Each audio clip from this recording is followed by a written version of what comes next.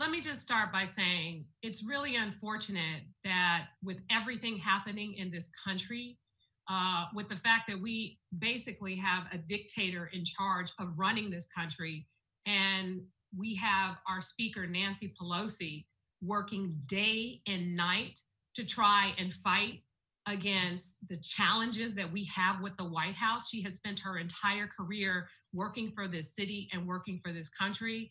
It's unfortunate that you know this conversation has kind of blown up in the way that it has and distracted us from the real issue. The fact is we don't have good solid federal leadership that is helping to facilitate this COVID response. And over 180,000 Americans have died as a result of this virus.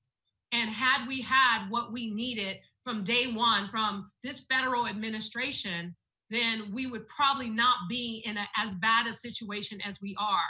Our focus should be on making sure that we as a city are providing also good information. I know that there's been a lot of confusion with our small businesses and their operations and whether or not they can operate indoors and outdoors. And so we as a city and the confusion between the local information and the state information, we have to take responsibility of doing a better job around communication.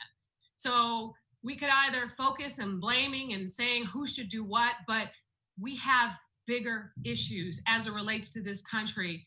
And I have a tremendous amount of respect and appreciation for the hard work that Nancy Pelosi does every single day to take care of the city and this country.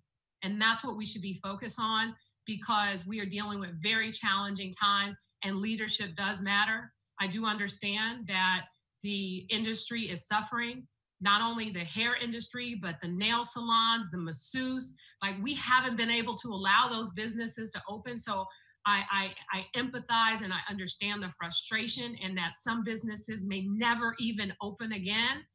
And this is hard for everyone. The decisions that we are making around public health have everything to do with trying to keep people safe. And unfortunately, the economy and people's livelihoods sadly have suffered. So I empathize with that, but I do think it's important that we focus on the bigger issue, and that is getting back to making sure people are doing their part to wear masks and to stay safe and to stay healthy. And the city will do our very best to do a better job around our communication with our small businesses throughout San Francisco as we begin our reopening efforts.